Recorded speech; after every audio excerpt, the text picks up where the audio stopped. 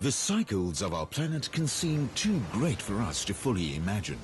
The idea of a million years boggles most minds. Even a hundred thousand years can seem vague. But there is another cycle that rules the seas and takes place at a far more human pace, twice a day to be exact. The rise and fall of the tides is such an integral part of our lives that we even record and include them in our daily weather reports. But what actually causes this ebb and flow? The answer is floating in the sky above us. The moon is a lifeless ball of barren rock and dust. But by some strange twist, it has allowed life on Earth to flourish. Not only does it keep our planet steady on its rather wobbly axis, but it also governs the tides, the twice daily inhalations and exhalations that endlessly renew life on the shoreline.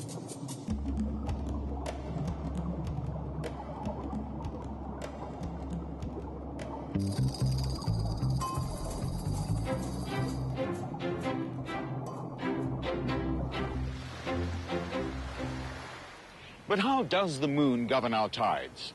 The easy answer, of course, is gravity. Or more precisely, the moon's gravitational force on the Earth. Now, let's for a moment pretend that the balloon is the Earth and this is the moon.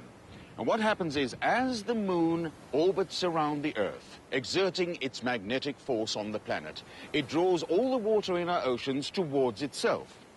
Now, this sounds simple enough, but there's a catch. Because when it's high tide over here and all the water's been pulled toward the moon, it should follow that the other side should be low tide.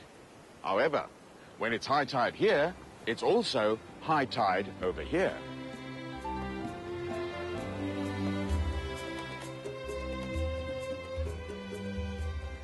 If I swirl this balloon around, the water inside it and centrifugal force causes it to bulge.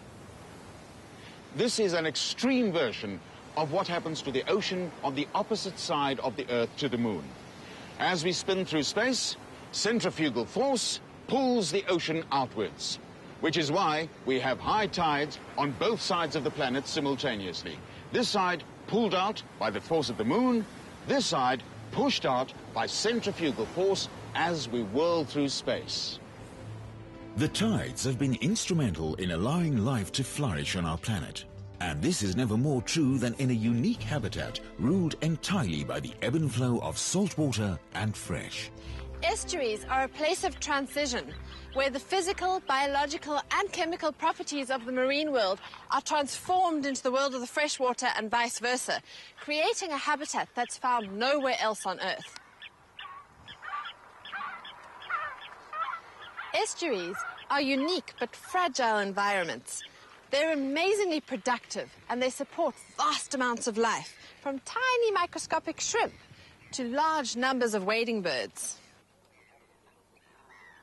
But estuaries are also important for fish, and not just those species of fish that are specific to the estuary, but large numbers of our marine species that depend on estuaries as a vital link in their life cycle, using them as nursery areas for the juveniles.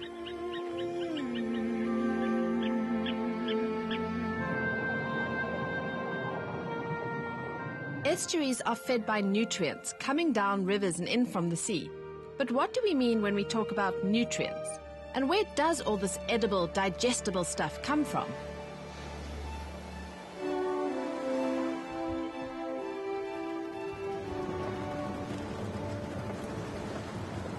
If you've ever spent any time on the west coast, you'll probably have noticed two things. One, the water is extremely cold. And two, that the plants seem to love it here. And you might wonder, well, why do the plants grow so thick here? Why do we get these big forests of kelp here and not on the east coast where it's warmer and you'd expect them to grow? The answer, of course, is that the water is saturated with nutrients. So what I'm driving the boat through right now, it's essentially a rather chilly stew of plant food.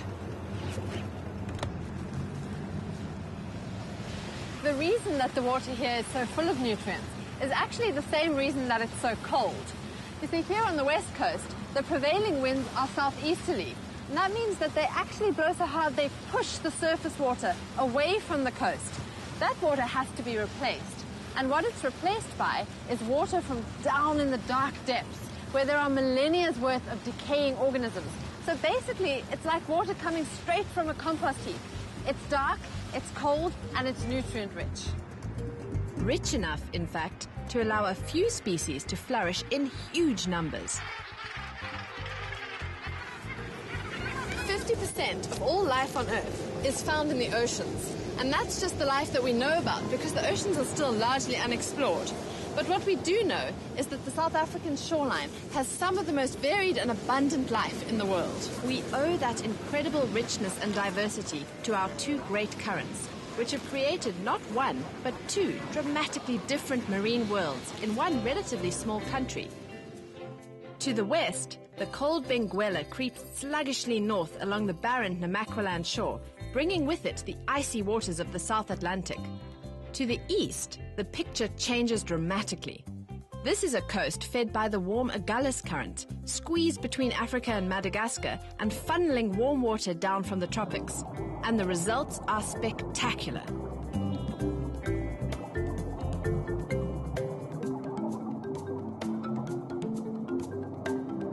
A dazzling kaleidoscope of colors reveals that this is a kinder ocean than in the west.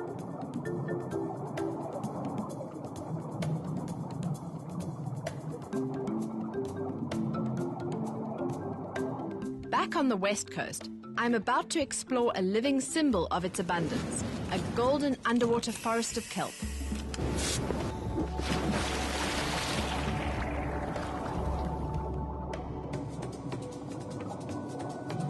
Just as forests on land offer food and shelter to woodland or rainforest birds and animals, so kelp provides a habitat for dozens of marine species.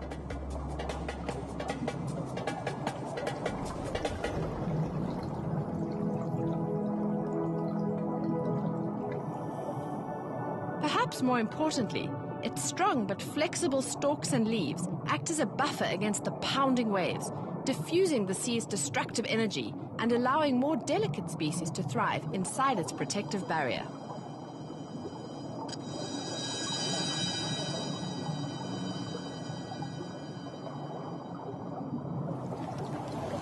It's one thing to look at a map and see a blue arrow going up the west coast showing the Benguela current and a red arrow coming down the east coast showing the Agulhas current. But it's another thing altogether, experiencing it underwater for yourself. The nutrient soup off the west coast is a blessing, but every so often it can also be malevolent. The Benguela current is a very productive marine ecosystem. Coastal upwelling brings massive amounts of nutrients into the water. Combined with sunlight, the microalgae found in the water can sometimes multiply on a grand scale, depleting the water of oxygen and depriving other marine creatures that depend on the vital gas. In a phenomenon we refer to as a red tide, the result of which we see here today.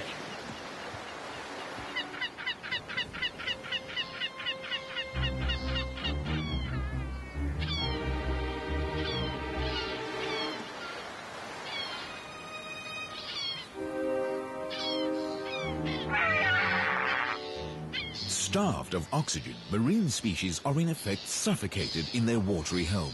Fish have nowhere to go, but for species with legs, there is one desperate option left. Walking up onto the beach in a phenomenon known as a walkout. And this one at Elands Bay on the west coast was enormous. Entire populations of lobster driven into the eager beaks of seagulls by the deadly tide. At this walkout, police and army were on hand to prevent a health disaster from unfolding, but they also acted as conservationists. So these good folks here from the Department of Fisheries are doing the best that they can, trying to save as many of these poor rock lobster as possible, moving them further down, down the coast to where the red tide is less severe and where they stand a better chance of survival. It's really quite tragic. On the third day of this walkout, 2,000 kilograms of lobster were rescued and put into holding tanks at Elands Bay.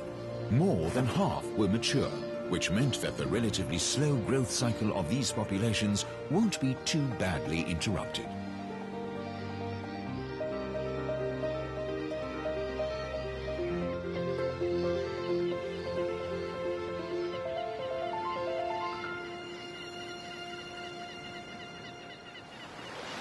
Of course, the sad reality is that as, as much as they're trying to save as many of these of these lobster, not all of them are going to make it. For example, the shy shark, it's still breathing at the moment, but uh, it's not going to survive. So, uh, again, it's very tragic.